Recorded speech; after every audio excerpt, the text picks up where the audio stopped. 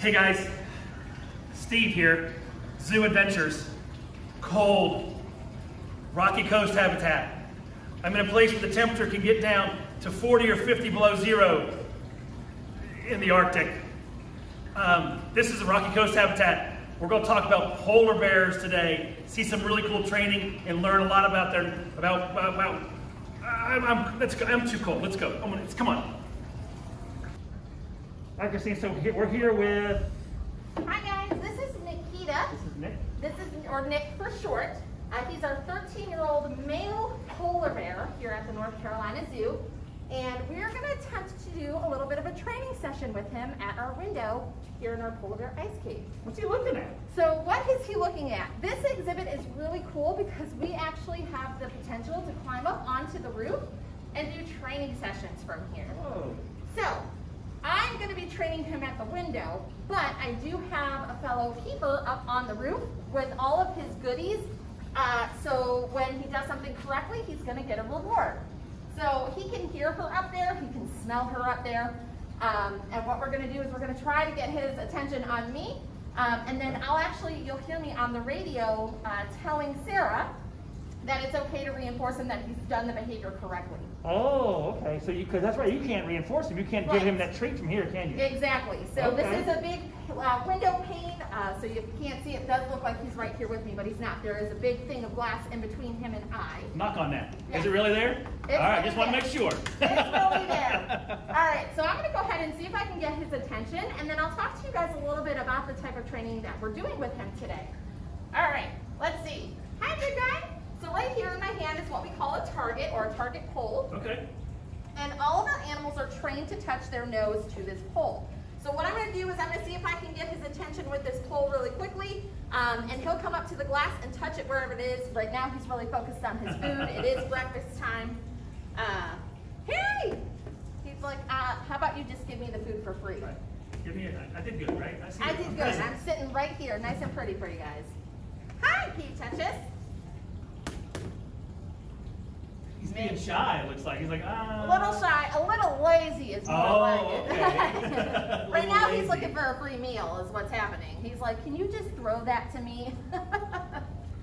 Hi! Nick! He's like, nope. How old is Nick? So Nick is 13 years old and he is one of two polar bears that do live here at the North Carolina Zoo. We also have a female named Nana. She's 20. Oh. Oh, yeah. So he can see Whoa. her. He stands at about 11 feet tall, Are 11 you and kidding feet me? tall. No, he's a big boy. That's like a basketball hoop and a foot.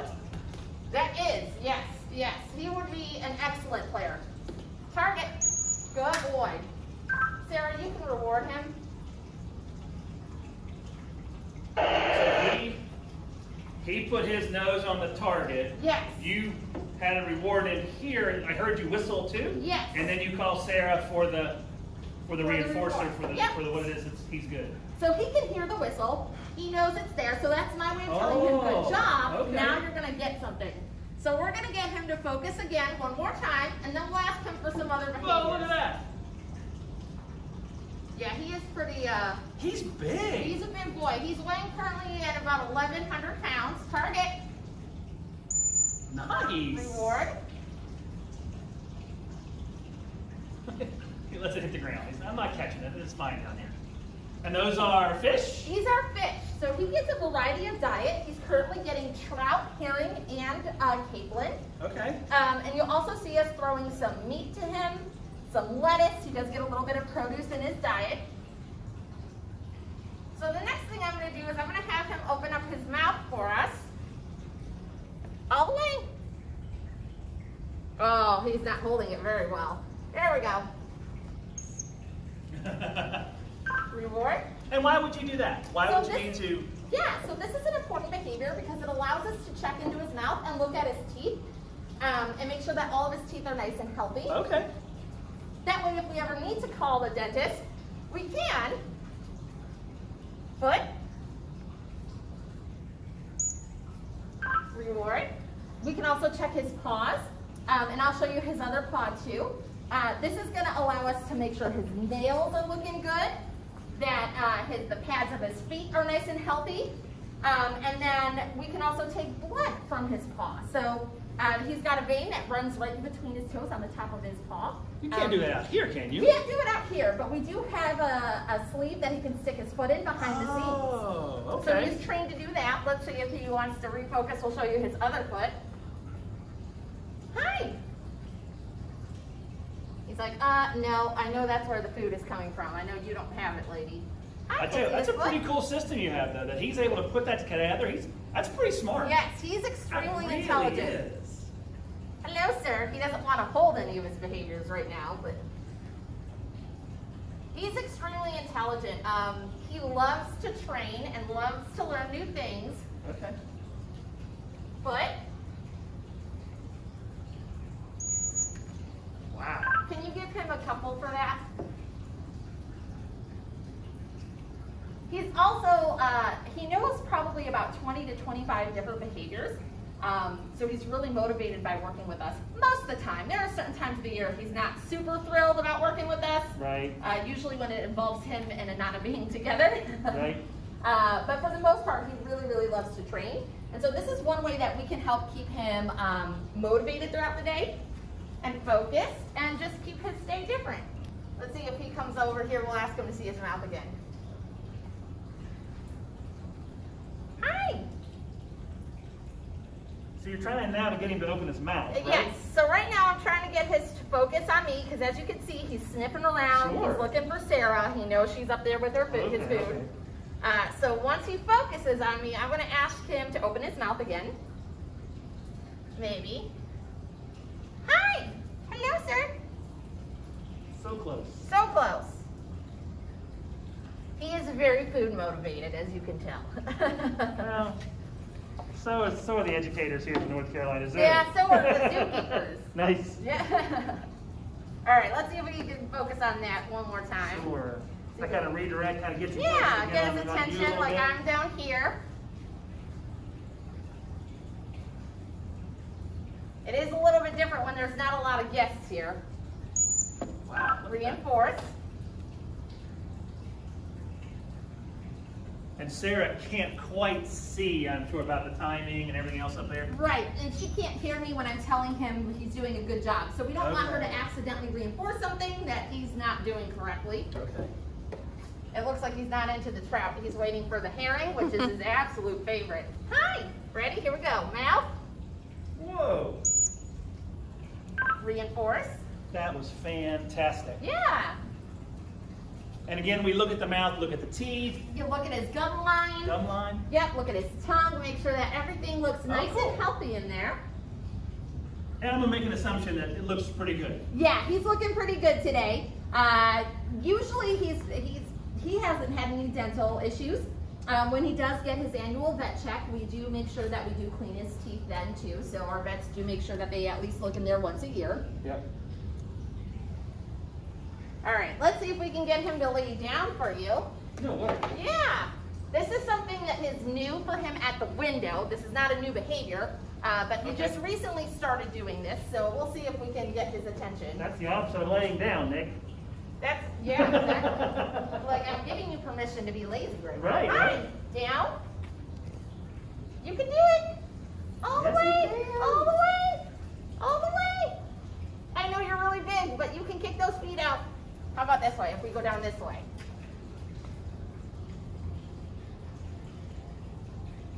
Nick. Hi. Can you go down? What if you do this? Down. So this is a basic behavior that we use to shape all the behaviors you're seeing. Mhm. Um, if we hold the target pull down low, he knows he's got to go down low to touch it, and then eventually we can fade it out. Hi. So while he is really smart, this is um, like just like anything, learning something new, it can be challenging, especially if you're not uh, used to doing it. So he does lay down, he knows it really well behind the scenes, Yeah. but we don't really ask it a lot out here, um, especially if there's large crowds. It can be a little confusing if he's looking at a lot of other people. Um, so he just recently started doing it, uh, but it has been a little bit of a while since we've asked for it. And you can tell he's not the most motivated right now. Yeah, there's all kinds of other things going on. The Yeah. weather is a little bit different out there. Yeah. Sarah, he's walking away. Give me a second. So can you guys imagine trying to train? You guys can do the kind of thing at home, of course. Absolutely. So um, all the training that we do it is through positive reinforcement. Okay. So when he does something that we ask, we reward it with something that he wants. There he goes again. Now, if he, as you can see, he's uh, not doing a lot of what we're asking right now, which is fine. Uh, all the training that we do is voluntarily based. So if he doesn't want to participate, that's okay. He doesn't have to. Okay. He's still going to get all of his food regardless. Steve, how tall are you? I'm 6'3". Six three. Hi, bud. Wow. So I think what we're going to do to keep this positive is we're just going to ask for one more simple behavior, reinforce him, and then I think we're just going to give him some uh, toys to play with and Oh, awesome. Um, like I said, he doesn't have to participate if he doesn't want to. As you can see, he's not very motivated right now. He's definitely not a morning bear. Anybody out there not a morning bear, huh? Christina says she's not a morning bear either. Me. Hi. Can you just do one more for me, bud? He's like, you do know it's raining, right? He's, yeah, he's also not a fan of the rain. A lot of times you'll see him behind the scenes in the rain. He'll just be sleeping all day. So, Really? yeah. And again, another behavior I'm sure that some of our some of our digital guests can relate to. If it's raining, you're going to be in bed for a little bit. Yep, and that's definitely him. No, most of the time he prefers to be outside unless it's in the rain. He's not a big fan of the rain. So that could be a factor too.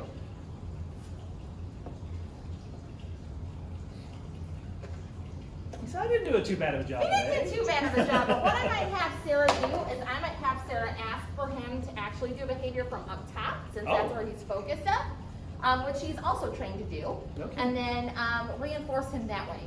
Okay. Hey Sarah, can you do me a favor? Can you ask him for an up, and then reinforce him, and then toss him his enrichment? Ten four. All right, so I'm gonna take a step forward, just so he knows that he's looking at Sarah. Yeah, so you're kind of. Which he's kind of uh, already looking at Sarah. You can see that he's more responsive to him. So this is a behavior he does know. This is a behavior that he has on cue. Um, this is an up behavior, and you're probably thinking, why is this an important behavior to have?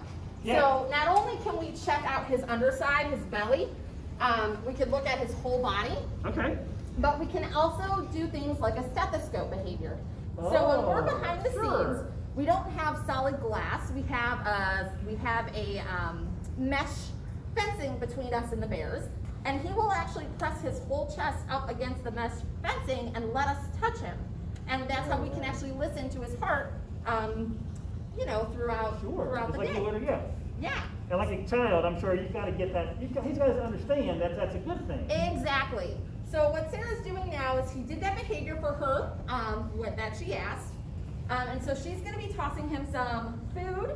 Uh, we threw some enrichment uh, items. So right now, what he's interacting is with one of his toys. It's got a hole, a small hole in the front. Okay. So we've actually put polar bear chow in that. Um, and yes, he gets chow. Just like a regular old, like a like a like a kibble. Like a kibble, yeah, Okay. except uh, it's much bigger. Uh, um, it's not like the size, it's bigger than your dog food at home. Okay. Okay. But it is specifically made for polar bears, so it has a lot of oils and fats and vitamins that they would need. Um, obviously, their main diet out in the wild is seals, Right. and we love our seals here, so we're not going to give them no. seals. I, I, I'm sure a lot of people appreciate that. That's for sure. uh, but yeah, so they we try to make up their diet with other things um, to supplement that. So that polar bear chow is one of them. Um, you're going to see some lettuce down Yeah, I saw some romaine. That's kind of cool. Yes, so on the wild, they would eat a little bit of produce. Sure. Um, not a lot, but a little bit. And so we do give them romaine lettuce. Okay.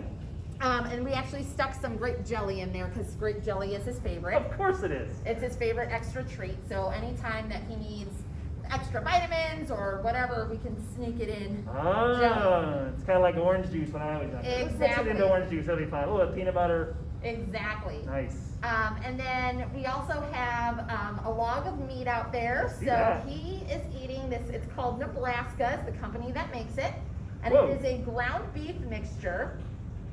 Um, and it actually has a lot of, it's not human grade ground beef. It's got bones and hair Oh, uh, and organs in there, and all the things that they would be eating out in the wild um, is mixed up in there. So Sure. it's got a lot of good vitamins in it for him. Um, and then we also tossed him some He seems to ice like it. treats. Yes, that's one of his favorites.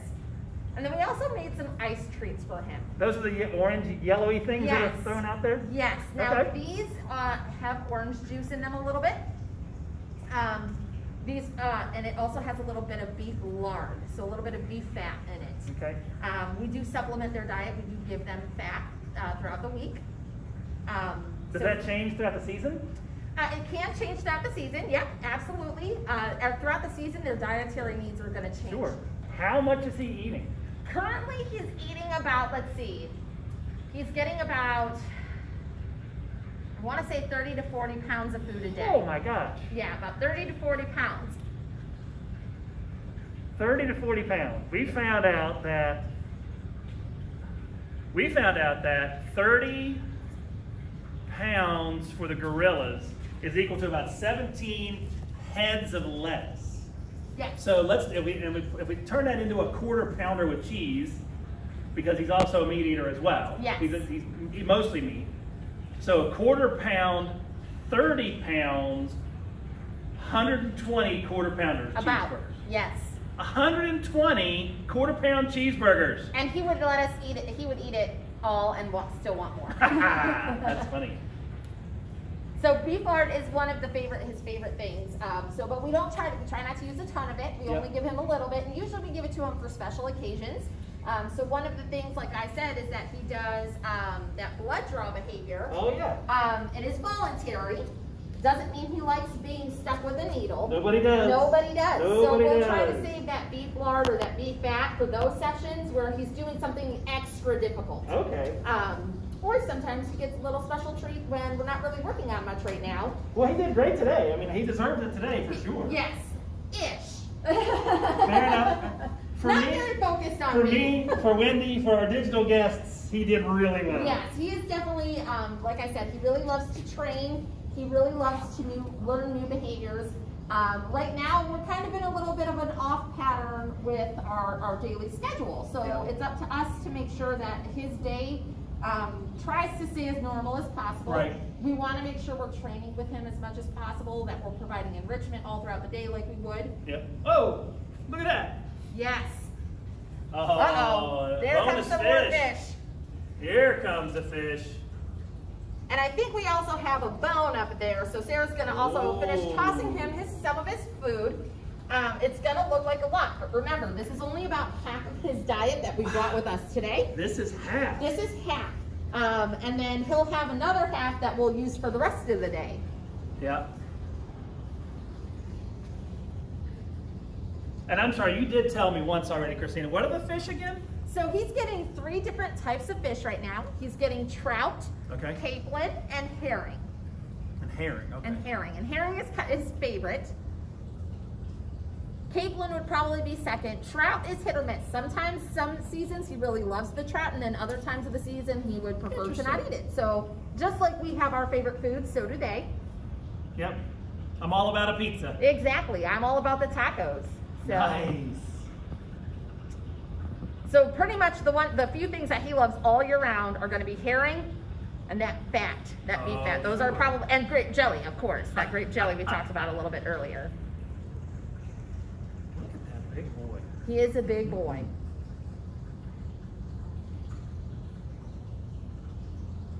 And the enrichment, things you're throwing out there, getting him to solve a problem, getting him to use those senses, kind of like you might in the wild a little bit. Absolutely. So uh, we want to make sure we're trying to encourage natural behavior for these animals. Okay. Um, and that's what the whole point of enrichment is. So we want to make sure that these guys would forage, these guys would hunt. They would use that excellent sense of smell. Polar bears can smell up to 20 miles away. Um, and that's how they're going to hunt for their food. It's also how they're going to find mates out in the wild. Um, so by us being able to put enrichment all over the habitat, um, we're encouraging him to use that nose.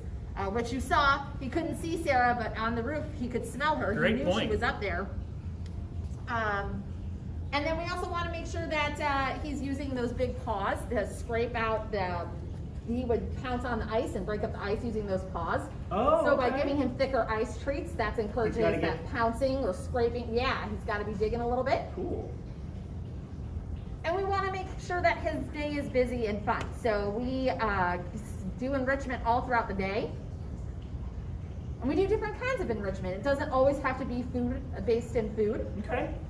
That's kind of like I would think that the, the food inside the, or the, like you said, the, the polar bear food inside that little black me to keep box. Yes, yes. So we have some um, polar bear chow in there, which he looked like he was going to go for, but then the Yeah. fish started coming down. So you can Oh. definitely tell where his favorite is. He'll come point. back to it. He did stop, that's true, Yeah, because he he picked it up and carried it, didn't he? He was going to start playing with it, but then he was like, ah, there's fish. There's fish. Fish is awesome. I like fish. Anybody else there that like fish? I do love sushi. Oh, there you go. I am a fan of sushi. That's kind of like what he's eating now. Yes. At least, exactly at least the raw part of yes, it. Yes, the raw part, yes. Wow, he's doing great. And he looks good. He's dirty. He is a dirty bear. He's a dirty bear. he is also, you're also going to notice that he, you're seeing a lot of black patches on him. That's his skin. Um, What? yeah, he's actually shedding right now a little bit. So he's shedding his old fur and he's growing in that new fur. So you are going to see a little bit more of his skin right now. I see. Uh, but he does love to roll around in the dirt and in the grass. Um, and there he goes trying to get that chow out. So there's manipulating with the paws a little Exactly. bit, moving things around, taking, knocking that over a little bit. Right. We saw the black bears a while back. We did we did a program over at the black bears where it was kind of good camp, bad camp, Okay. and we watched black bears, the ones here, uh, Nova and Luna, getting into coolers. Yes. Literally opening the cooler and closing the cooler. Yes. So it's kind of neat to see that these guys are doing the same thing. They're manipulating, they're moving things with their paws. Yes, and one of his favorite enrichments and one of my favorites to give him are new big pickle barrels. Huh. So, um, pickle barrel. Yeah, we get pickle barrels donated to us, and then we'll wash them out, we'll clean them out, Yep. um, and then we give them to him whole. And he'll actually, not only will he throw it around, but he'll pounce on it like he would as if he was breaking ice to Breaking find a seal. the ice. That's So those are like my favorite behaviors when they start pouncing on things. Yeah. How neat.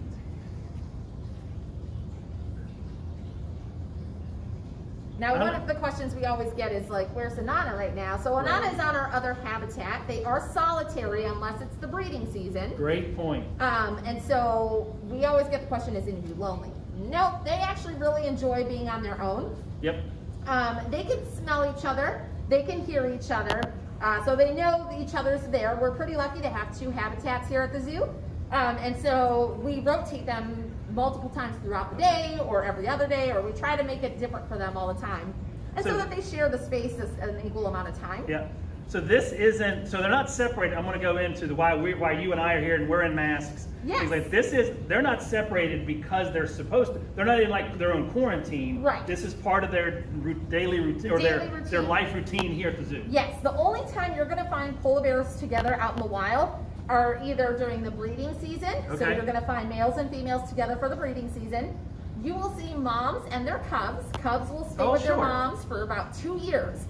And then the only other time you will ever see a polar bear uh, together is if, let's say, a large whale carcass were to wa- uh, wash up. They're going to take that free food. So they will gather um, to, to share that meal. Gotcha. Not begrudgingly, I'm sure. um, but so yeah. he knows how to. T- that's the there, there might have been. I'm sorry, I didn't mean to interrupt you, Chrissy. No, it was fun to watch him turn that upside down this time. I mean, there's, Yes. there's food in the bottom of this. He knows. He do I get knows. And How like I said, he's got that? that excellent sense of smell. So if Yeah. there's anything in there, he'll know it's in there. That was fun. So Nana also gets enrichment throughout the day. We actually Okay. just set some enrichment out for her uh, before we came over to work with this session with him. Cool. She also gets trained throughout the day as well. And, And they they're won't be coming back together now. They're Right. separated for. They're separated for the season. Their breeding season is over. We usually introduce them together um, like in January-ish, like mid to late January, maybe even early February, depending on what their behavior is telling us. Mhm. And then their se- their breeding season can actually last through April or even May. Um, but we find that Anana usually cycles in March, Uh, and once they Gotcha. breed, that's it. They want nothing to do with each other once that happens. Right? So we'll base their separation off of their behavior. Yeah. So once we stop seeing him guard her, once we stop seeing breeding, once we see her um, spending time apart from him, that's when we'll go ahead and separate them for the season. And it changes every year. Um, there's been years where they've been together through June, through May, Oh, wow. through April. This year it happened in March. Uh, it seems to be getting sooner and Shorter and sooner shorter. She's done with him earlier and earlier That's every year. funny. But we do base it off of their behavior. Sure. So they're kind of telling us. Exactly. And more she's telling us. Exactly. exactly. Nick would probably be with her all the time if he could, but she's kind of she's older. She's like, I'm Right. done with you. So And I'm sure Wendy's getting some great shots. It's amazing to watch him move that container around. Yeah. Look at him use those paws and claws. I know, and it's they're so big, but he's being so gentle with them. When Yeah. he wants to be, they can't. He could squish that thing, I'm sure. Absolutely, absolutely. Those big old paws. Wendy getting a shot of him there. Now his claws aren't very big. His Right. claws themselves aren't very big. Right. So he's actually his claws are um, not going to be his main source of hunting, or it's going to be Okay. his jaws. So what he's going to do is he's going to use those big paws to help balance him on the ice and Oh. keep him um, upright on the ice. Yep. So they're very spread out. They're very large. They're about the size of a dinner plate. They have fur in between the padding, which you saw a little bit when we did our foot presenter Yeah, yeah, yeah. I our remember training that. session. Uh, and his claws are also going to use, be used for grip on the ice when he's out on the ice. Uh, but what he'll do when he's hunting is he's going to wait by a seal hole because seals are mammals. They do Yeah. need to breathe air. Sure. So even though they can hold their breath for up to 20, 30 minutes, um, he'll wait. He'll wait and then he'll run and grab as, as with his jaws and then he'll kind of help use his paws to kind of pull them out. But his jaws are going to be and his teeth are going to be that main source of how he hunts. So that head and teeth are the tool. Huh? Yes. The killing tools. And his paws are also built to, like I said, crush through that ice. If Yeah. he's looking for uh, baby seals in their ice dens Mhm. below, um, he's going to use those powerful paws to, to break through that ice. So. Gotcha. That is so neat. Oh, some little bird in there. Yes. Come on, man. You better be careful. Now he, Does he he usually doesn't care about the live animals. Um, we do also give our bears whole prey twice a week. Um, so we'll do things like chicks or quail Okay. that come already frozen, as Yeah, if yeah. you were gonna like buy some for your pet snakes or Yeah, yeah. something at home. Yep. Um, uh, he doesn't like them. He won't eat it anything that has fur or feathers on it. Really? he doesn't. Anana, on the other hand, will. So there. So one of the differences. Yes. So if there is something that gets in here and it's slow enough, she'll go after it. No so yes, yeah. But he won't. He usually just leaves it alone. I've actually seen a raccoon walk by him, and And he just said, okay. he was like, whatever. Whatevs. That's awesome.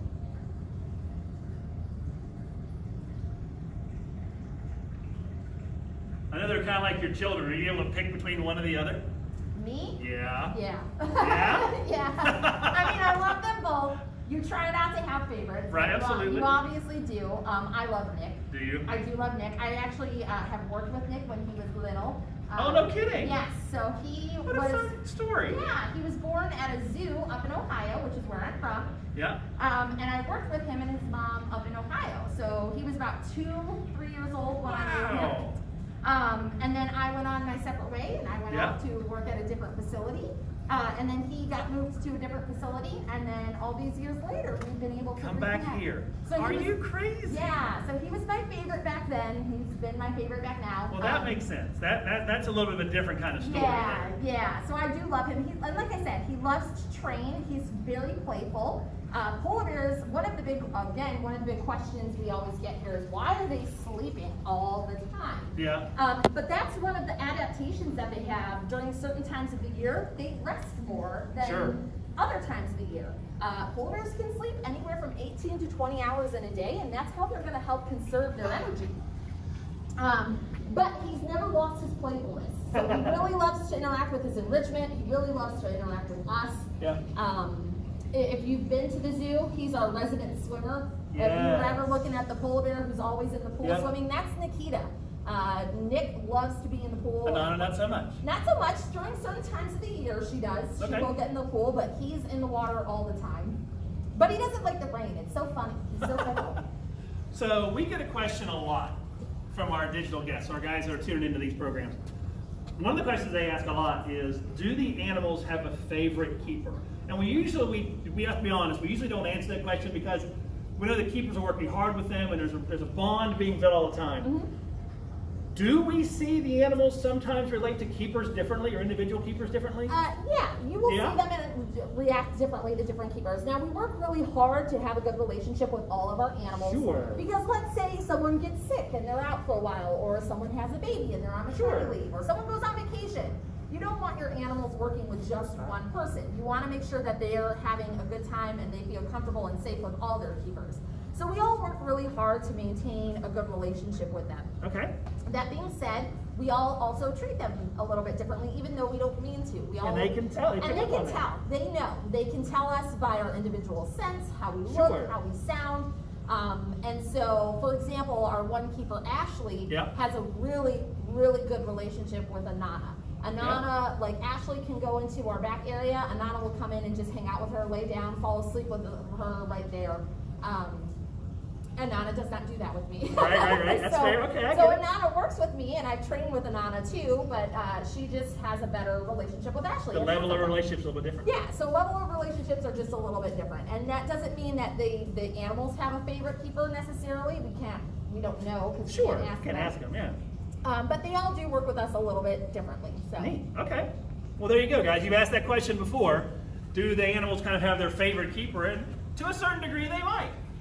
Or at least they work with keepers a little bit differently. absolutely. So cool. Well, thank you for that. We hadn't had a chance to ask Yeah. somebody that in the past. So you guys heard Christina talking. Wasn't that a great job? So much fun to hear and see, huh? But you heard her talking about the, the mouth and the face and the head of the polar bear, and that was the killing tool, and the size of it. Are you kidding? Really? This is a polar bear skull. Again, it's a replica. That's the size. I mean, look at this. Got Nick behind us there still. And she was saying they have this very strong tool. This right here is a really important tool. What is this? What is that? You guys know what that is. That's the nose, that's a nasal cavity. Do me, do me a favor. Take a deep breath through your nose. Let it out. One more. Sounds like some of you have a cold out there. I hope not. Let it out. So the polar bear's using this sense of smell. What did you guys smell? Anything?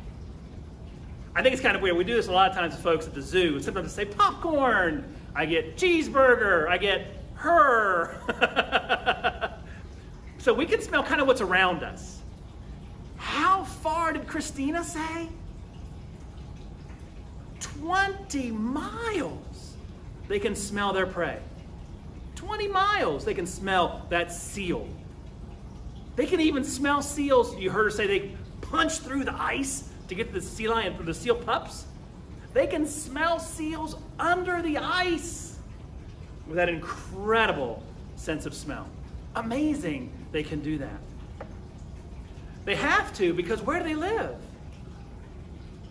Are there a lot of indicators? Are there a lot of things to cue off of?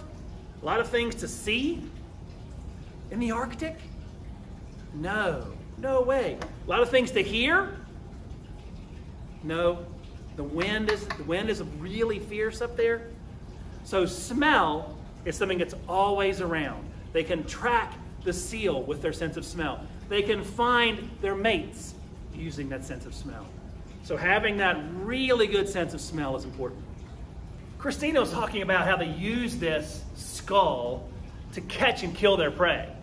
We found out that they use this to find it. They use these to catch and hold on. You guys ready for this? Open your mouth as wide as you can. Open your mouth as wide as you can. I bet the polar bear wins.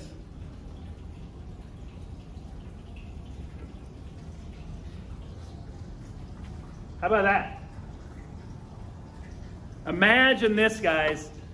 Christina said they sit right next to the, to the breathing hole of a seal, right? They sit and they wait for the seal to come up. And when that seal comes up, the very last thing they see is this. As the seal is grabbed by the mouth of the polar bear, they grab it, pull it up onto the ice, and that's dinner. One more time. How about that? Pretty impressive, huh? Yeah. Ah, I don't think so. They're not going to be eating people. They're not hunting people. They're hunting seals. Just give me an idea of the size. So that is the story of a polar bear skull. We learned a little bit about gorillas, how they have this crest. Provides strength. Same thing with the, for the polar bear. There's muscles attached to there, so I grab onto that seal and I can pull it up out of the water. Imagine being able to pull a 250 or a 300 pound seal up out of the water with just your mouth by grabbing on and pulling it up. Polar bear skull. These guys are really well adapted to life in the Arctic as a hunter. Check this out, guys. Check this out. This is polar bear fur.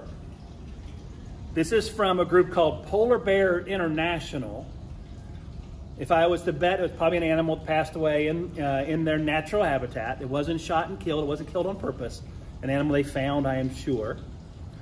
But I love this because their fur is really unique. And I bet some of you know, each individual hair, is it white? Is each individual hair white? And if it's not white, what is it?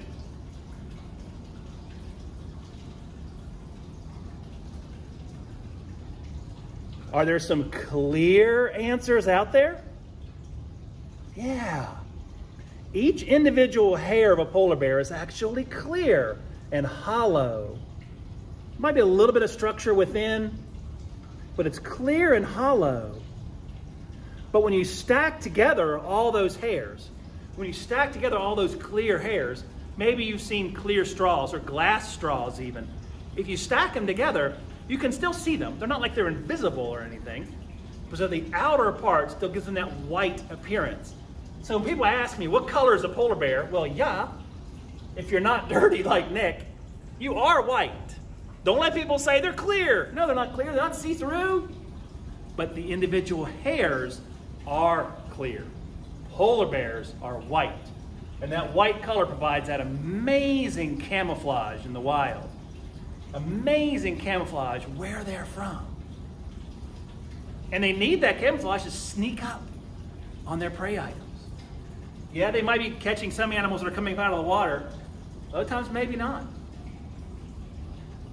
Christina also mentioned that the skin is black. And that's true. You can see it kind of coming through on Nick. If you look inside of his ear, his muzzle is black.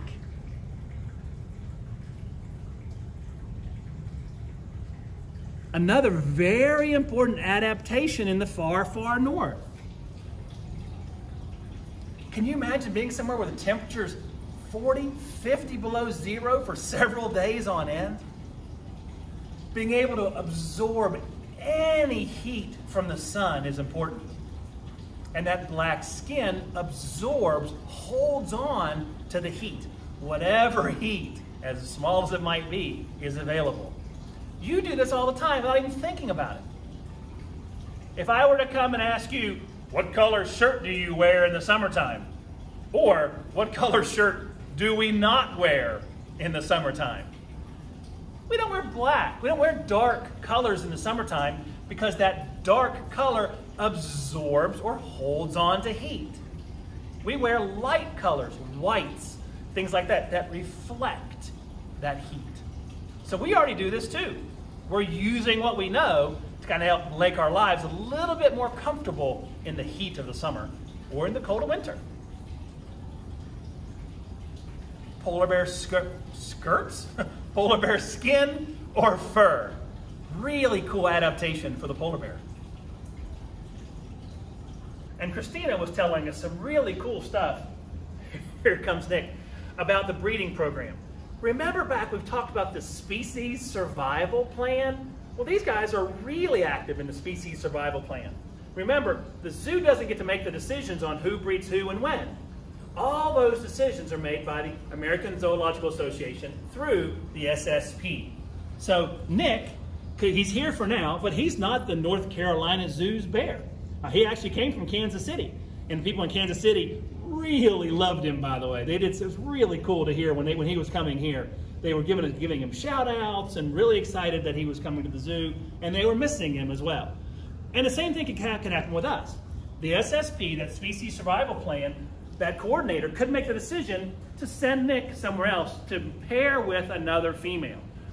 It's really important. Yeah, it can be tough sometimes when we really build these relationships with the animals, but it's really important to remember that the, that the zoos, the American Zoological Association zoos, are here for the animals and then for us.